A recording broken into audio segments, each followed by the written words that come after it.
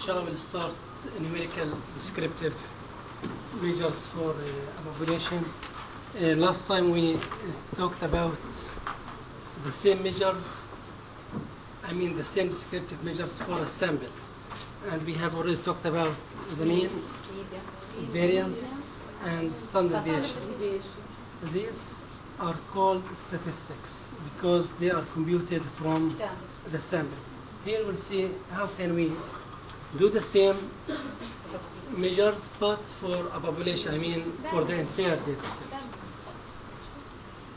So descriptive statistics described previously in the last two lectures was for a sample. Here we'll just see how can we compute these measures for the entire population. In this case, the statistics we talked about before are called parameters. And if you remember at the first lecture, we said there is a big uh, difference between statistics and parameters. The statistic is a value that computed from a sample, but parameter is a value computed from the population.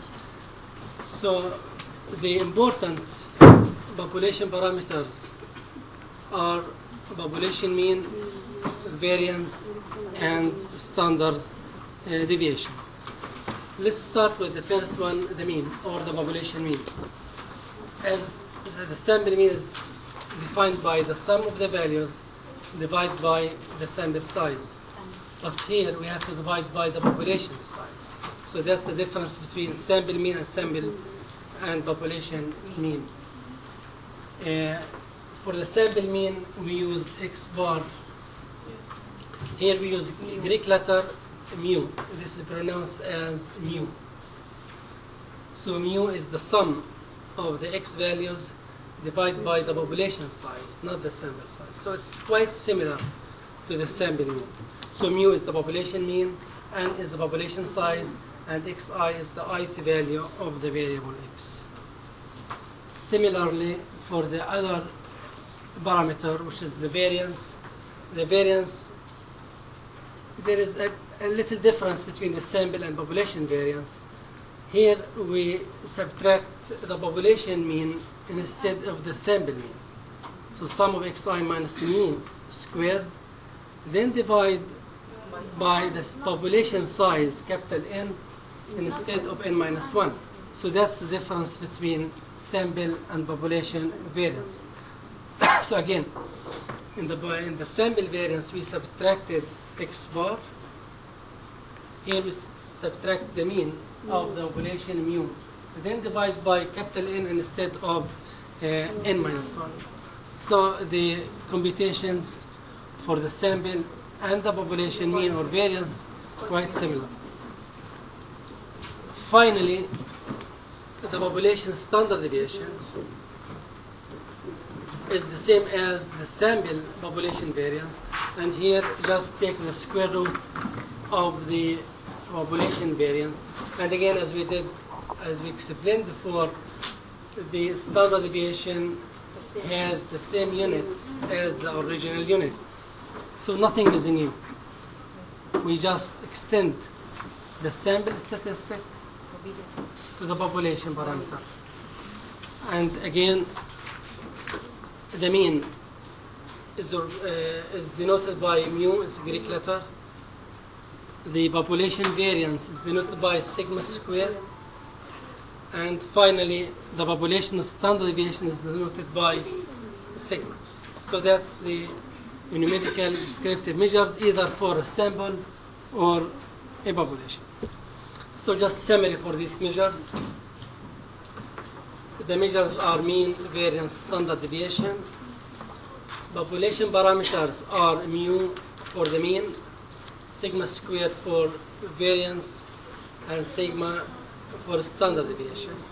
On the other hand, for the sample statistics, we have x bar for sample mean, s squared for the sample variance, and S is the sample standard deviation. That's sample statistics, again, is population uh, parameters. Any question?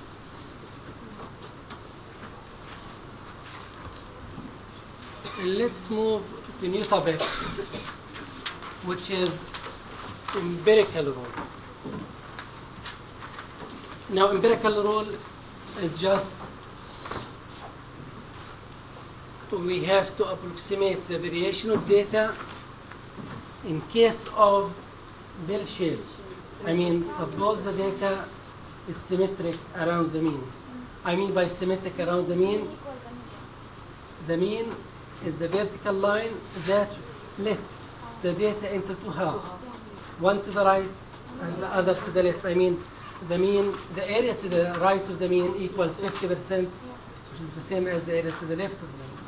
Now suppose or consider the data is bell-shaped. Bell shape, normal or symmetric, so it's not skewed either to the right to the left. So here we assume okay, the data is bell shaped. In this scenario, in this case, there is a rule called 68, 95, 99.7 rule. Number one, approximately 68 of the data in a bell shaped lies within one standard deviation of the population mean.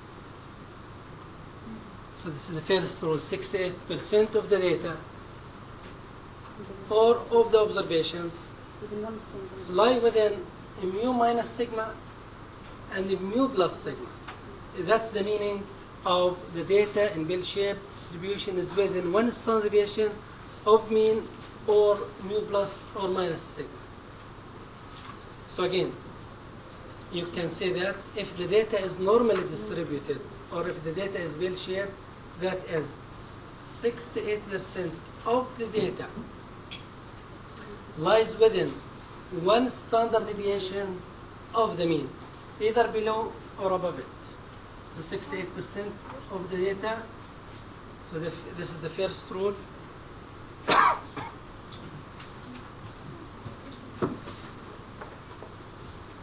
Sixty-eight percent of the data lies between mu minus sigma and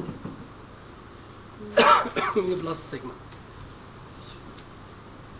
The other rule is approximately 95% of the data in a bell-shaped distribution lies within two standard deviations of the mean. That means this area covers between minus 2 sigma and plus mu plus 2 sigma. So 95% of the data lies between minus mu 2 sigma and mu plus 2 sigma. And finally, approximately 99.7% of the data, it means almost the data. Because we are saying 99.7, it means most of the data falls or lies within three standard deviations of the mean. So 99.7% of the data lies between mu minus 3 sigma and mu plus 3 sigma. 68, 95, 99.7 are fixed numbers. Later in chapter 6, we will explain in details other uh, coefficients. Maybe suppose we are, we are interested not in one of these. Suppose we are interested in 90% or 80% or 85. This rule just for 68, 95, 99.7. This rule is called mm, 68, 95, 99.7 rule. That is, again, 68% of the data lies within one standard deviation of the mean. 95% of the data lies within two standard deviations of the mean. And finally, most of the data falls within three standard deviations of the mean. Let's see how can we use this empirical rule for a specific example. Imagine that the variable math SAT scores is bell-shaped. So here we assumed that the math SAT score has symmetric shape or bell shape. In this case, we can use the previous rule, otherwise we cannot. So assume the math test score is well shared with a mean of 500. I mean, the population mean is 500 and standard deviation of 90. And let's see how can we apply the empirical rule. So again, math test score has a mean of 500 and standard deviation sigma is 90.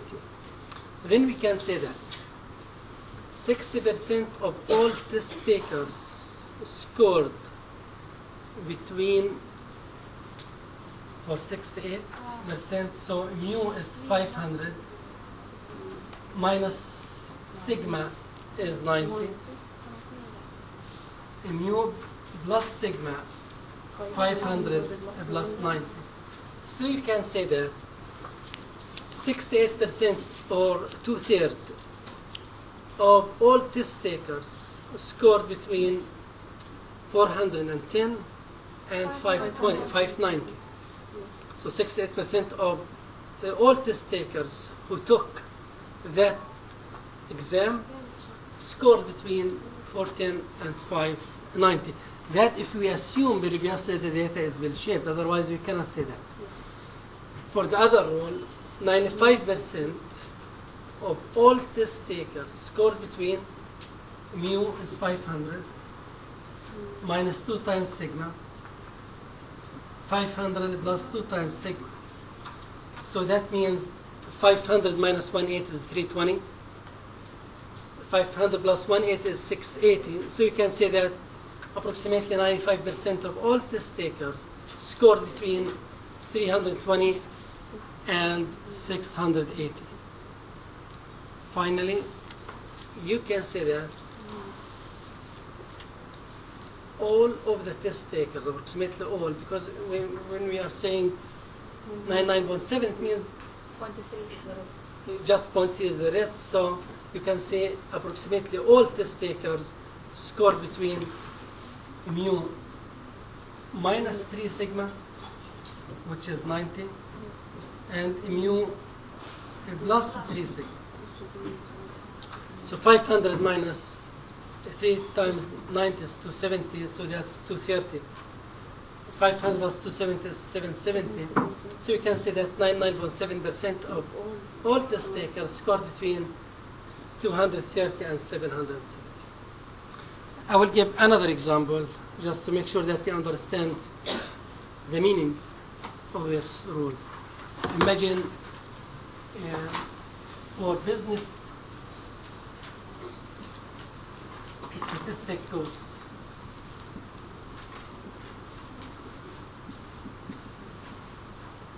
For business statistic exam, suppose the scores are bell-shaped. Yes. So we have, we are assuming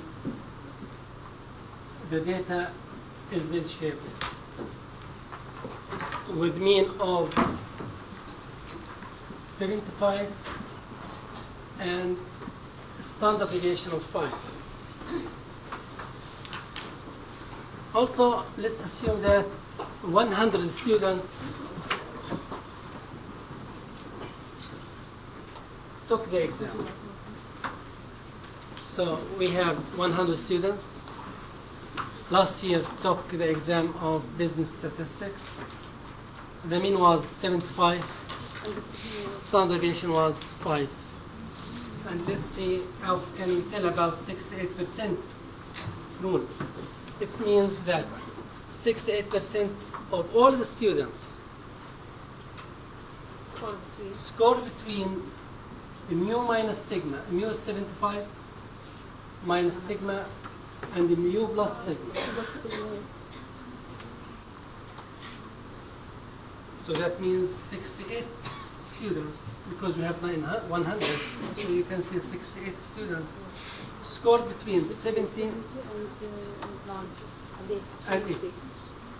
so 60 students out of 100 scored between 70 and 80. About 95 students out of 100 scored between 75 minus 2 times 5, 75 plus 2 times 5. So that gives 65, the minimum, and the maximum is 85. So you can say that around 95, 95 students scored between 65 and 85. Finally, maybe you can see all. Because when you are saying 99.7, it means almost all the students scored between 75 minus 3 times 5 and 75 plus 3 times 5. So that's 60 to 90. Now let's look careful at these three intervals. The first one 7 to 80, the other one 65 to 85, then 6 to 90. When we are more confident, when we are more confident here for 90 99.7%, the interval becomes wider. So this is the widest interval. Because here the length of the interval is around 10, the other one is 20, here is 30. So the last interval has the highest width. So as the confidence coefficient increases, the length of the interval becomes becomes larger and larger because it starts with 10, 20, and we end with 30. So that's another example of uh, empirical law. And again, here we assume the data is bell-shaped. Let's move to another one when, uh, when the data is not bell-shaped. I mean, if we have data and that data is not symmetric, We can't use this. so that rule is no longer valid. So we have to use another rule. It's called Chebyshev rule.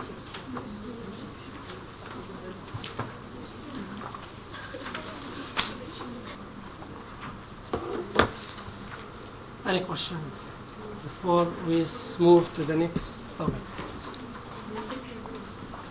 Uh, Chebyshev rule it says that regardless of how the data are distributed, I mean, if the data is not symmetric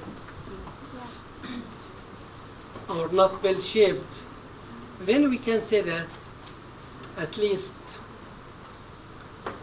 instead of saying 68, 95, or 99.7, just say around 1 minus 1 over k squared, multiply this by 100 of the values will fall within k. So k is number of standard deviations. I mean number of signals.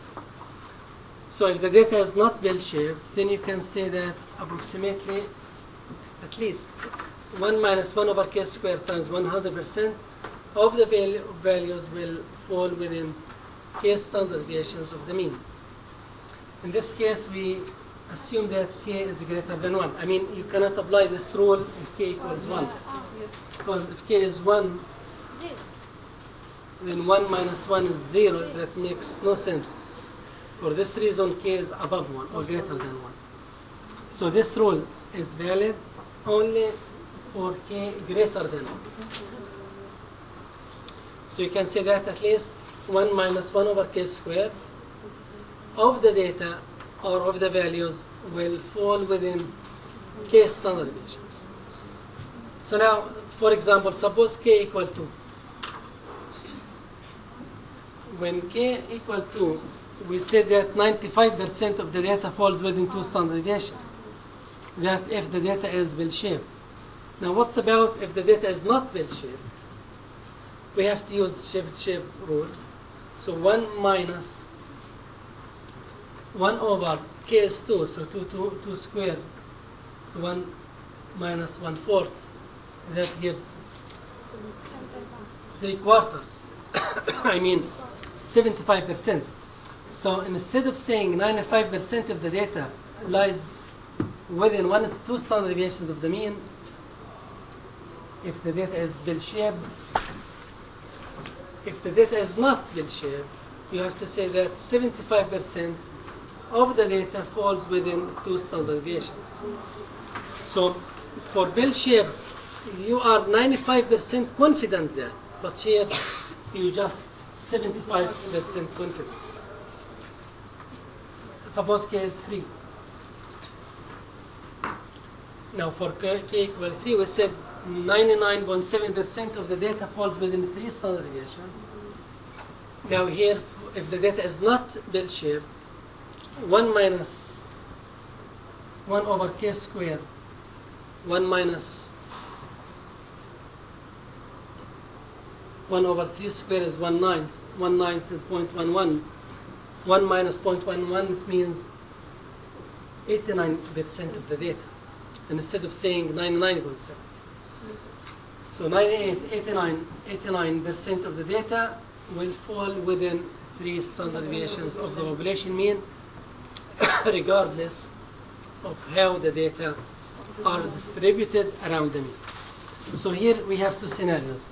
One, if the data is symmetric, which is called empirical rule 689599.7, and the other one is called Chebyshev rule, and that regardless of the shape of the data. Excuse me.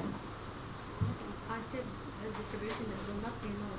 Yes, in this case, you don't know the distribution of the data, and in reality, is sometimes the, da- the data has unknown distribution. For this reason, we have to use chip chip questions. That's all for empirical rule and chip rule. Uh, next topic is quartile measures. So far, we have discussed central tendency measures, and we have talked about mean, median, mode. Then we moved to allocation of variability or spread or dispersion, and we talked about range, variance, and standard deviation. And, and we said that outliers affect the mean much more than the median, and also outliers affect the range. Here we'll talk for another measures of the data, which is called quartile measures. Here, actually, we talk about two measures. First one is called first quartile, and the other one is third quartile. So we have two measures, first and third quartile. The quartiles split the rank data into four equally segments. I mean, these measures split the data you have into four equal parts.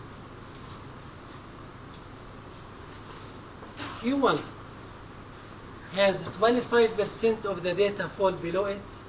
I mean, 25% of the values lie below Q1. So it means 75% of the values above it. So 25 below and 75 above. But you have to be careful that the data is arranged from smallest to largest. So in this case, Q1 is a value that has 25% below it. Now, Q2 is called the median. The median, the value in the middle when we arrange the data from smallest to largest. So that means 50% of the data below and also 50% of the data above. The other measure is called third quartile. In this case, we have 25% of the data above Q3 Seventy-five. and 75% of the data below Q- Q3. So quartiles split the ranked data into four equal segments. Q1 25% to the left, Q2 50% to the left, Q3 75% to the left, and 25% to the right. Before we explained how to compute the median, and let's see how can we compute first and third quartile. If you remember, when we computed the uh, median, first we locate the position of the median. And we said that the rank, if n is odd, N plus one. uh, uh, yes, it was n plus 1 divided by 2. This is the location of the median, not the value. Sometimes the value may be equal the location, but most of the time it's not. It's not the case. Now let's see how can we locate uh, the first quartile. The first quartile, after you arrange the data from smallest to largest, the location is n plus 1 divided by 2. So that's the location of the first quartile. The median, as we mentioned before, is located in the middle. So it makes sense that if n is odd, the location of the median is n plus 1 over 2. Now, for the third quartile position, the location is n plus 1 divided by 4 times 3. So 3 times n plus 1 divided by 4. That's how can we locate Q1, Q2, and Q3. So one more time, the median, the value in the middle, and is located exactly at the position n plus 1 over 2 for the range data. Q1 is located at n plus 1 divided by 4. Q3 is located at the position 3 times n plus 1 divided by 4. Now, when calculating the rank position, we can use one of these rules. First,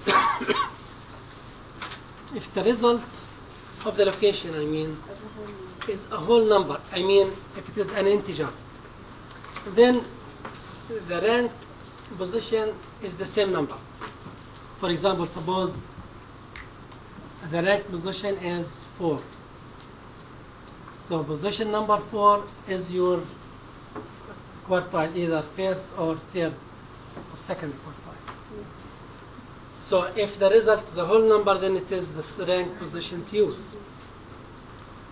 Now, if the result is a fractional half, I mean, if the rank position is 2.5, 3.5, 4.5, in this case, average the two corresponding data values. For example, if the rank position is 2.5,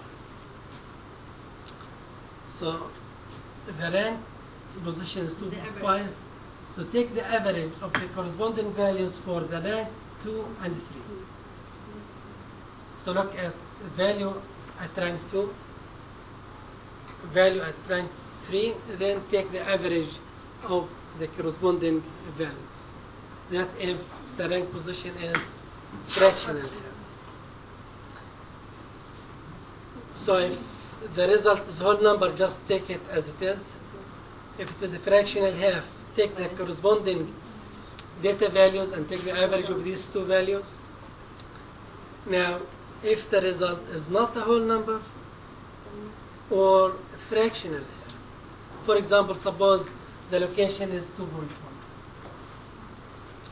So the position is 2, just round, up to the nearest integer. So that's 2. What's about if the position rank is 2.6? Just rank up to 3. So that's 3. So that's the rule you have to follow if the result is a number, a whole number, I mean integer, fractional half, or not real number, I mean, not whole number, or fractional half. Look at this specific example. Suppose we have this data. This is ordered array, 11, 12, up to 22. And let's see how can we compute these measures. Look carefully here. First, let's compute the median. The median, the value in the middle. How many values we have? There are nine values. So the middle is number five. Nine plus one. One, two, three, four, five. So 16, this value is the median. Q2. Now look at the values below the median. Below the median. There are four and four below and above the median. The median. Now let's see how can we compute Q1. The position of Q1, as we mentioned, is n plus 1 divided by 4. So n is 9 plus 1 divided by 4 is 2.5. 2.5 position, it means you have to take the average of the two corresponding values, 2 and 3. So 2 and 3, so 12 plus 13 divided by 2, that gives 12.5. So this is Q1. So Q1 is 12.5. Now what's about Q3? The Q3, the rank position, Q1 was two uh, was 2.5, so Q3 should be three times that value because it's three times n plus 1 over 4. That means the rank position is 7.5. That means you have to take the average of the 7 and 8 position. 7 and 8 is 18, which is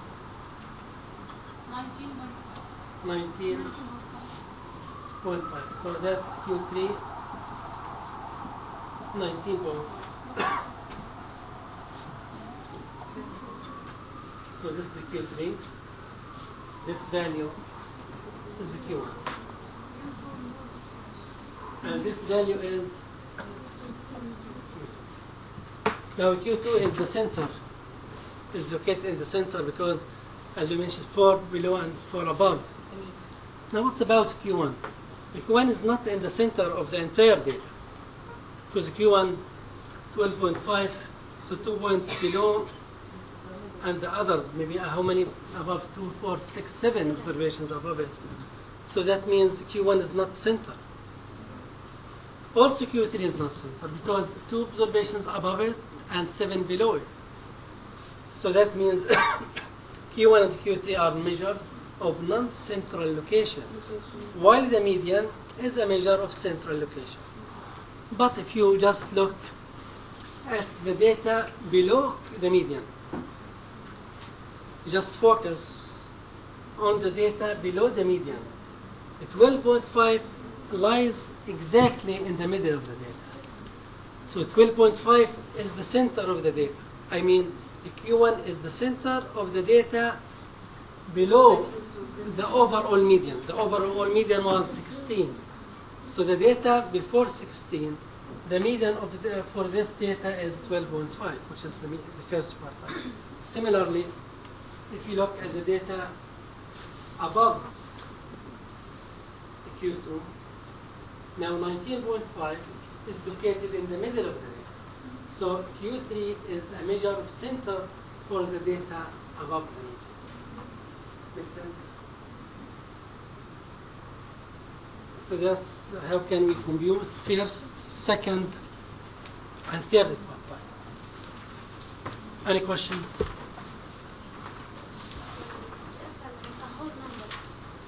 Whole number it means an integer.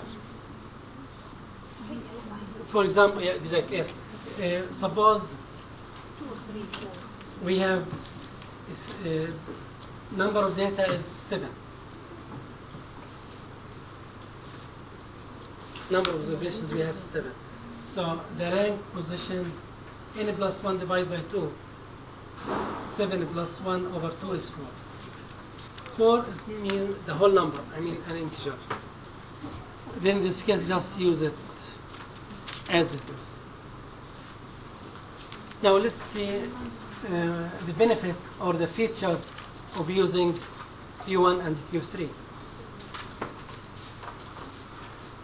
Um, so let's move at the interquartile range or AQ1.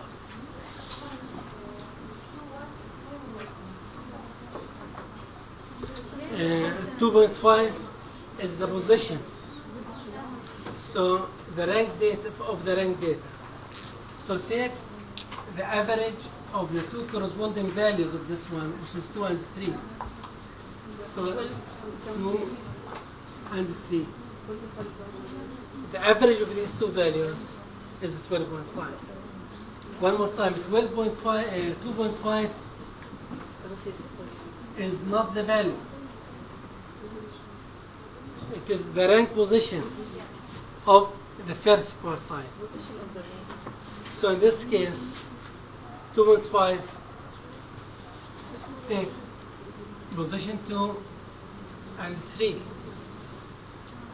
The average of these two rank positions, the corresponding one, which are 12 and 13, so 12 for rank for position number 2, 13 for the other one, so the average just divide by 2. That will give 12.5.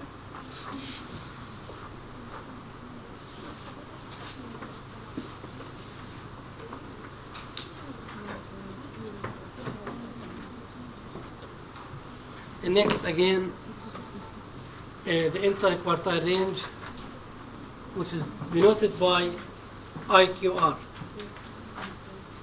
Now, IQR is the distance between Q3 and Q1. I mean, the difference between Q3 and Q1 is called the interquartile range.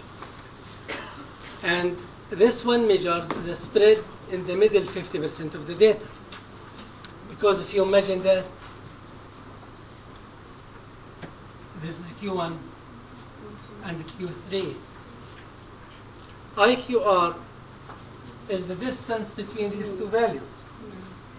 Now imagine that we have just this data, which represents 50%. And IQR, the definition is Q3, so we have just this data, for example. And IQ3 is Q3 minus Q1. It means IQ3 is the maximum minus the minimum of the 50% of the middle data. So it means this is your range, new range. After you excluded 25% to the left of Q1, and also you ignored totally 25% of the data above Q3. So that means you focused on 50% of the data and just take the average of these two points, I'm sorry, the distance of these two points, Q3 minus Q1. So it will give the range, but not exactly the range. It's called, sometimes it's called mid-spread range, because mid-spread, because we are talking about middle of the data, 50% of the data, which is located in the middle. So do you think in this case,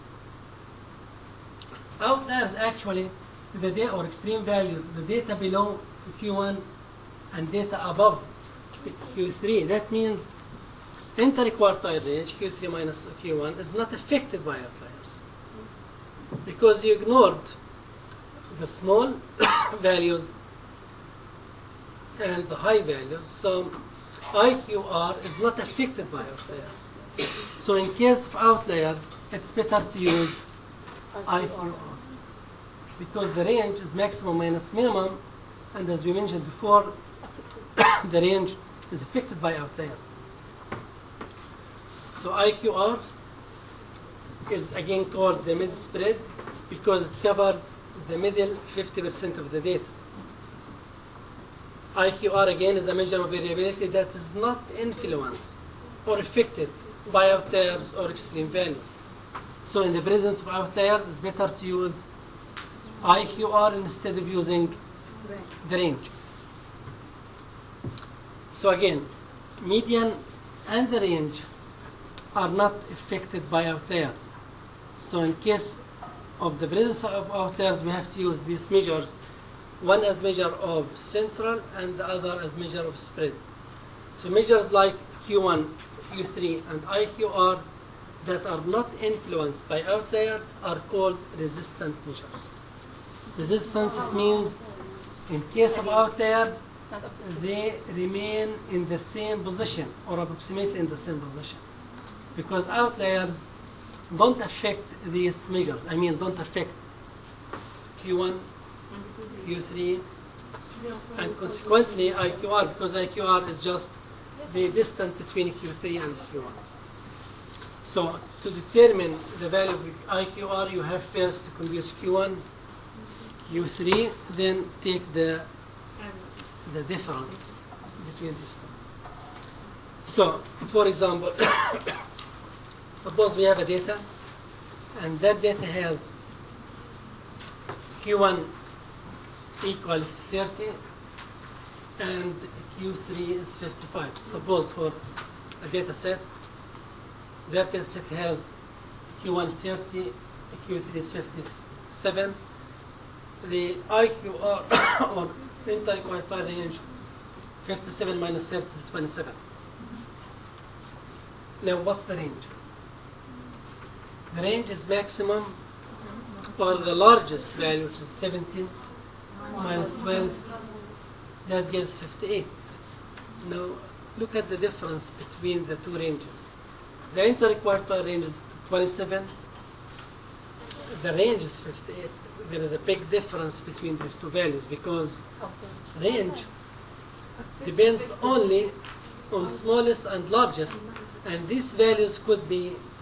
Outliers. For this reason, the range value is higher or greater than the interquartile range, which is just the distance of the 50% of the middle data. For this reason, it's better to use the range in case of outliers. Make sense? Any question?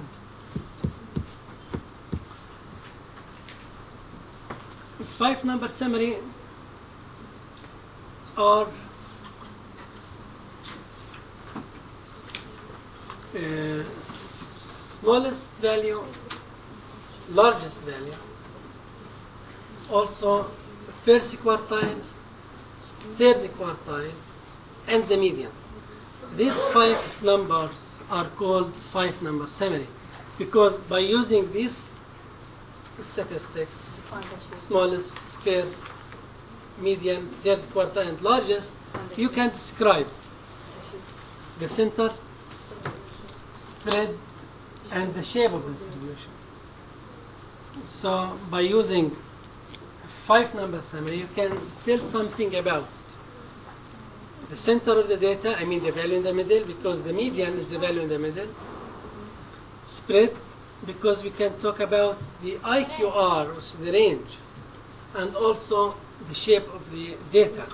And let's see, let's move to, to this slide, slide number 50. Let's see how can we construct something called box plot. Box plot. box plot can be constructed by using the five number summary. We have smallest value. On the other hand, we have the largest value. Also, we have Q1, the first quartile, the median, and Q3. For symmetric distribution, I mean if the data is bell-shaped, in this case, the vertical line in the box, which represents the median, should be located in the middle of this box, also in the middle of the entire data. Look careful at this vertical line, this line splits the data into two halves. 25% to the left and 25% to the right. And also this vertical line splits the data into two halves, from the smallest to largest, because there are 50 observ 50% of the observations lie below and 50% lies above. So that means by using box plot, you can tell something about the shape of the uh, distribution. So again, if the data are symmetric around the median, then the box and the central line, this box and central line, are centered between the endpoints. I mean, this vertical line is centered between these two endpoints, between Q1 and Q3, and the whole box plot is centered between the smallest and the largest value, and also the distance between the median and the smallest is roughly equal to the distance between the median and the largest. So you can tell something about the shape of the distribution by using the box plot. Now, look at the graph in the middle. Here, median, median are the same. The box plot, we have here the median in the middle of the box, also in the middle of the entire data. So you can say that the distribution of this data is symmetric or is bell shaped. It's normal distribution. On the other hand, if you look here, you will see that the median is not in the center of the box. It's near Q3. So the left tail, I mean the distance between the median and the smallest, this tail is longer than the right tail. In this case, it's called left skewed or skewed to the left, or negative skewness. So if the data is not symmetric, it might be left skewed, I mean the left tail is longer than the right tail. On the other hand, if the median is located near Q1, it means the right tail is longer than the left tail and it's called positive skewed or right skewed. So for symmetric distribution, the median in the middle. For left or right skewed, the median either is close to the Q3 or skewed distribution to the left, or the median is close to Q1 and the distribution is right skewed or has positive skewness. That's how can we tell spread, center, and the shape by using the box plot. So center is the value in the middle, Q2, or the median. Spread is the distance between Q1 and Q3, so Q3 minus Q1 gives IQR. And finally, you can tell something about the shape of the distribution by just looking at the scatter plot. Let's look at uh, this example. And suppose we have small data set. And let's see how can we construct the box plot. In order to construct box plot, you have to compute minimum first or smallest value, largest value. Beside that, you have to compute first and third quartile and also Q2. For this simple example, uh, Q1 is 2, Q3 is 5, and the median is 3. Smallest is 0, largest is 27. Now, be careful here, 27 seems to be as an outlier. But so far, we don't explain how can we, how can we decide if a data value is considered to be an outlier. But at least 27 is a suspected value to be an outlier. Seems to be. Sometimes you are 95% sure that that point is an outlier, but you cannot tell because you have to have a specific rule that can decide if that point is an outlier or not. But at least it makes sense that that point is considered maybe an outlier. But let's see how can we construct first the box plot. Again, as we mentioned, the minimum value is 0, the maximum is 27, the Q1 is 2, median is 3, the Q3 is 5. Now if you look at the distance between, does this vertical line lie between the uh, line in the middle or the center of the box? It's not exactly. But if you look at this line, vertical line, and the location of this uh, with respect to the minimum and the maximum, you will see that the right tail is much longer than the left tail because it starts from 3 up to 27 and the other one from 0 to 3 is a big distance between 3 and 27 comparing to the other one is 0 to 3 So it seems to be this is right skewed, so it's not at all symmetric. So because of this value. So maybe by using a box plot you can tell that point is suspected to be an outlier. And it has the ve- very long right tail. So let's see how can we determine if a point is an outlier or not. Sometimes we can use box plot to determine if the point is an outlier or not. The rule is that a value is considered an outlier if it is more than 1.5 times the interquartile range below Q1 or above the Q. Let's explain the meaning of this sentence. First, let's compute something called lower Lower limit is not the minimum, it's Q1 minus 1.5 IQ. This is the lower limit.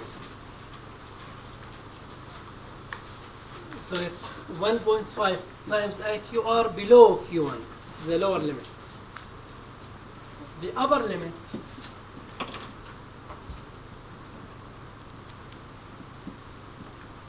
Q3 plus 1.5 times IQ.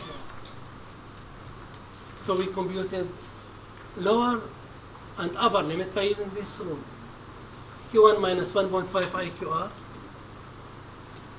So it's 1.5 times IQR below Q1 and 1.5 times IQR above the Q3. Now, any value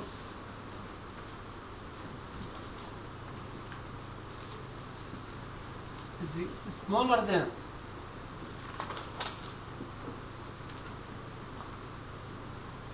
the lower limit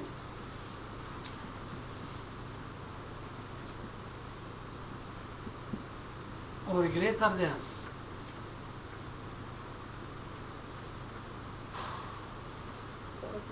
the upper limit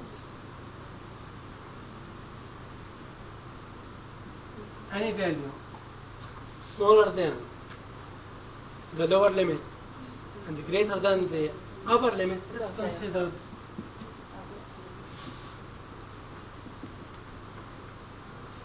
to be an outlier. So this is the rule. How can you tell if the point or data value is outlier or not? Just compute lower limit and upper limit. So lower limit Q1 minus 1.5 IQ3, upper limit Q3 plus 1.5 This is a constant. Now let's go back to the previous example, which was, which Q1 was, uh, what's the value of Q1? Q1 was 2, Two. Q3 Five. 5. In order to determine an outlier, you don't need the value, of the median. Yes. Now, uh, Q3 5, Q1 is 2, so IQ IQR is 3. That's the value of IQ3. Now, lower limit equals 2 minus 1.5 times IQR3, so that's minus 2.5. Q3 plus Q3 is 3, is 5, sorry. It's 5 plus, One point four. that gives 9.5. Now, any point or any data value, any data value falls below minus 2.5, I mean smaller than minus 2.5, or greater than 9.5 is an outlier. If you look at the data you have, we have 0 up to 9, so none of these is considered to be an outlier. But what's about 27? the 27 is greater than, much bigger than actually 9.5. So for that data, 27 is an outlier. So this is the way how can we compute the outer for the sample. Another method. Z-score is another method to determine if that point is an outlier or not. So, so far we have two rules. One by using quartiles, and the other, as we mentioned last time, by using z-score. And for z-scores, if you remember, any values below lie below minus 3 and above the 3 is considered to be error. That's another example. That's another way to figure out if the data is outlier or not. You can apply the two rules either for the sample or, or the population. If you have the entire data, you can also determine the outlier for the entire data set, even if that data is the population. But most of the time, we select a sample which is a subset or a portion of that uh, population. Questions? Any question?